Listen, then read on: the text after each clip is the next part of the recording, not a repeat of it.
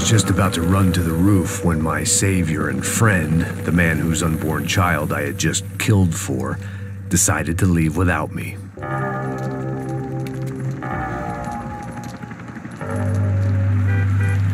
Boy, Max! Get in! Quick!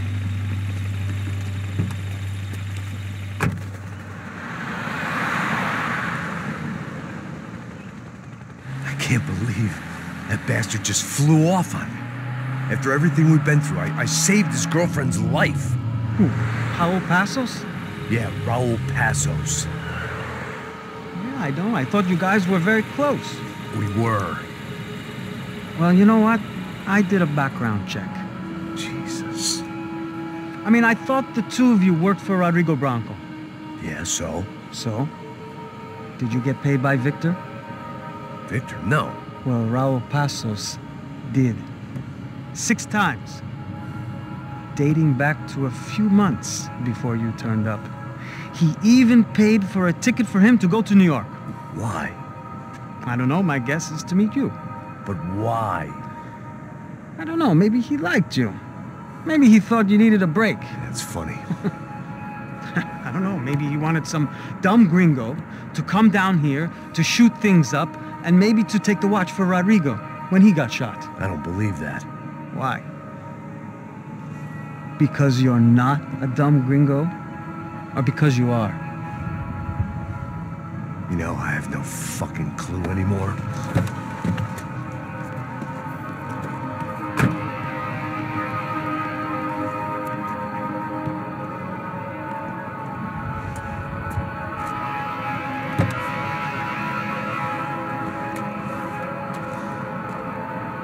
Okay. Let me ask you something. What? Well, what is it that you really thought that you were doing down there in Panama? Hmm? And don't tell me you're so naive as to think you were just down there guarding a woman. I didn't know what to say. I had been so loaded in Panama, I could scarcely remember my own name. I know things had got real heavy.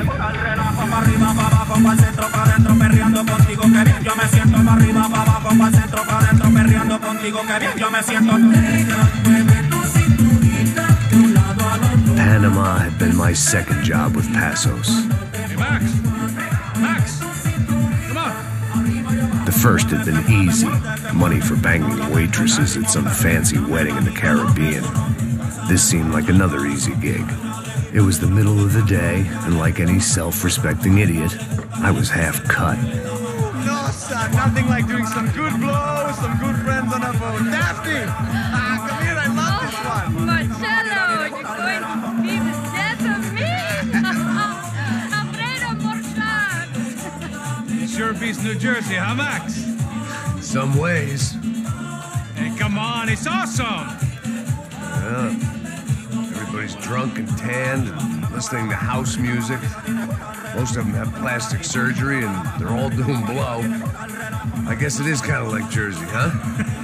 That's very funny, Max. Hey, hey soldier! Oh.